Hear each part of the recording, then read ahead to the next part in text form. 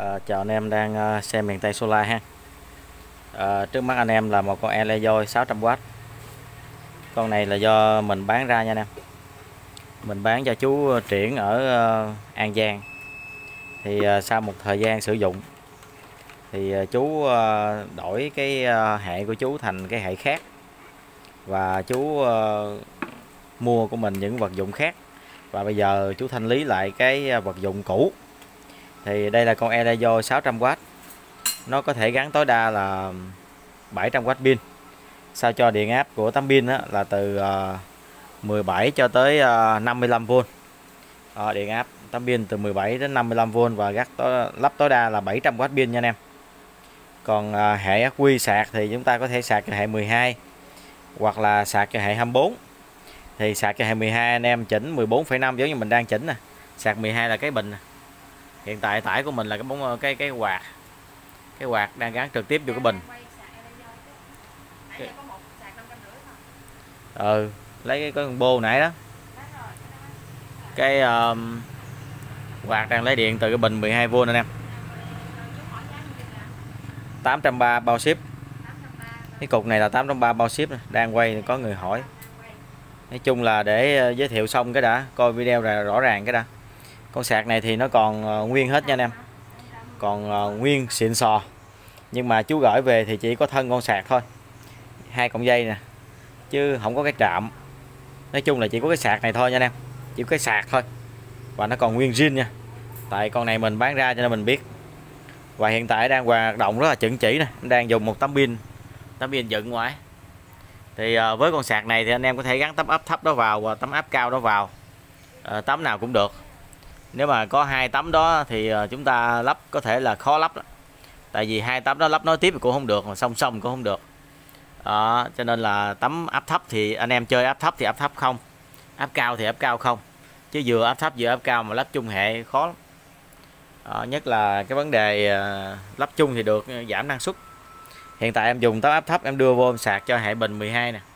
Anh em có thể dùng tấm áp cao để sạc cái hệ ờ, uh, 24 ha hoặc là tấm áp cao anh em sạc cho hệ 12 cũng được nữa. Đấy. Nhưng mà tấm áp thấp là phải sạc cho hệ 12 chứ áp thấp không có sạc cho hệ 24 được. Tại vì nó có 20V nó đâu có sạc được lên ờ, 28V được anh em.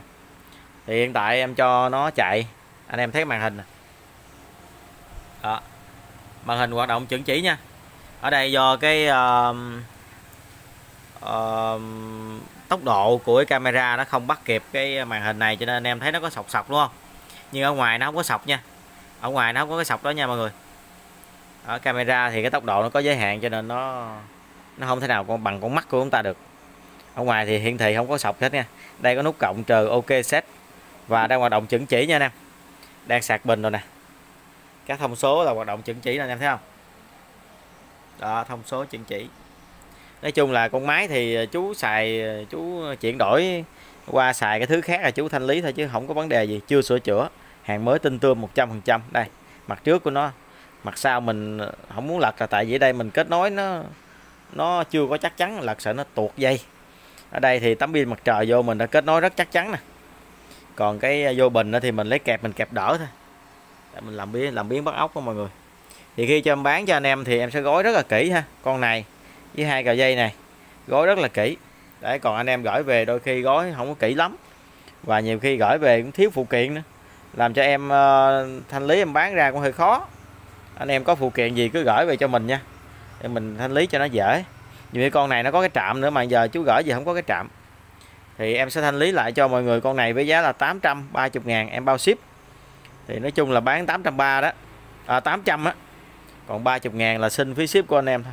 830 ngàn bao ship. Con Elejoy 600W ở hàng hàng là chuẩn chỉ ha chưa có sửa chữa lần nào và hàng do mình bán ra mình thu lại luôn. Chứ uh, không phải của ai cho nên là mình biết rất là rõ về món hàng này. Anh em nào đam mê thì liên hệ ha. Hoạt động ok nha em quay màn hình là cho anh em coi lần nữa nha. Đấy.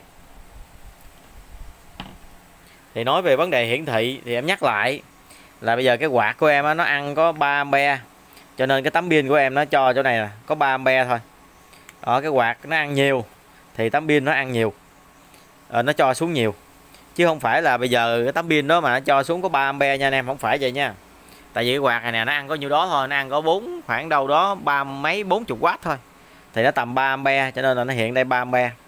Ở đó là câu hỏi mà anh em hỏi em rất là nhiều luôn. Tấm 200 watt sao ra có mấy ampe vậy? Tại vì cái tải của anh em nó ăn có nhiêu đó thôi. Còn cái bình này là hầu như nó đầy rồi nó đâu có ăn nữa đâu. Thấy không? Em nói đơn giản cho mọi người hiểu. Tải ăn nhiêu là ở đây hiện nhiêu ha. Chứ không phải tấm pin 200W mà giờ này ra 3A là vô lý. Thì thôi em ờ, kết thúc video ở đây ha. Em làm video ngắn thôi giới thiệu là em có cái con Elejo 600W này.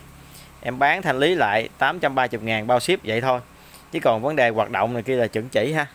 Chứ còn mà mà phân tích để làm gì, tại vì nó giống hàng mới mà. Mình phân tích nữa thì cũng như hàng hàng mới thôi, các chỉ số nè. Ở đây nó có chỉ số volt của tấm pin volt của ắc quy và dòng sạc cũng như là nhiệt độ đó và các cái nút điều chỉnh rồi kia là nó tinh tươm. Thôi xin chào mọi người nhé anh em nào uh, lấy thì hãy liên hệ nhé